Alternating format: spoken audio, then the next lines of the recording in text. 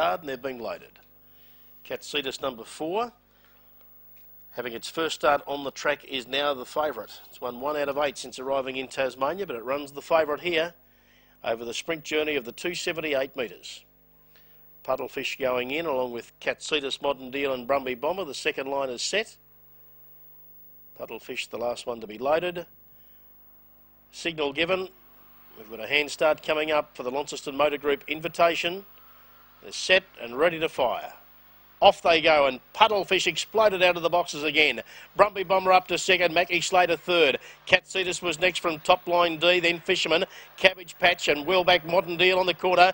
Puddlefish by a length, Mackie Slater and Brumby Bomber, but they won't get little Puddlefish. Puddlefish wins again, Brumby Bomber second, Mackie Slater third, Katsitas next. Then Fisherman, Cabbage Patch, top line D, and Modern Deal. Puddlefish at juicy odds, 420 and 170 absolute flying machine. She's won eight races over this journey. And she beat them fair and square again tonight with that lightning early speed at 420 and $1.70. 420 and 170. Her first split is 494. And she's shanghaied out of the boxes. 494.